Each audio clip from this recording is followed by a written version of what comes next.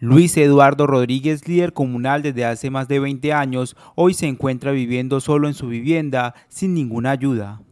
A pesar que su casa se cae a pedazos, mantiene sus fuerzas para levantarse y vivir por sí solo. Sin piernas y sin algunos dedos de sus manos, trata de subsistir debido a que la discapacidad que tiene no le permite elaborar o traer alimento a su casa.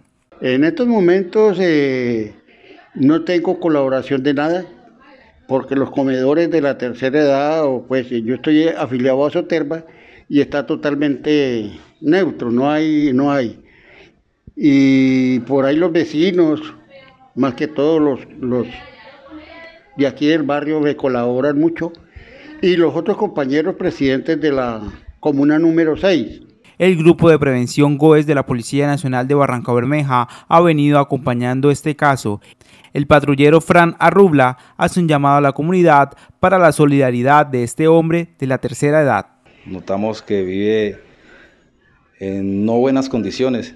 La idea es para que la comunidad de Barranca Bermeja nos, apoye eh, con alimentos no perecederos, eh, con material para poder arreglar el cuarto de él.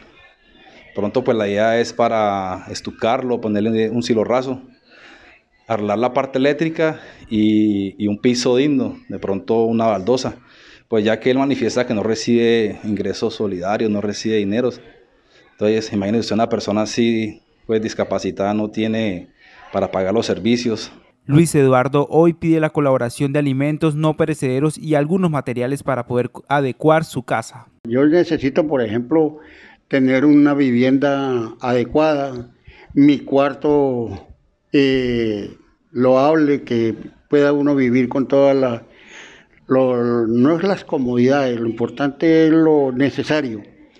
Y el comida, pues la comida, eh, ¿cómo es que llama? Los mercados, artículos no percederos, sino, no, lo importante es que tengan en cuenta todo eso y las personas que estén interesadas en donar o contactarse con este hombre lo pueden hacer a través del número 317-5048-220 para regalarle la felicidad a estas personas que hoy lo necesita.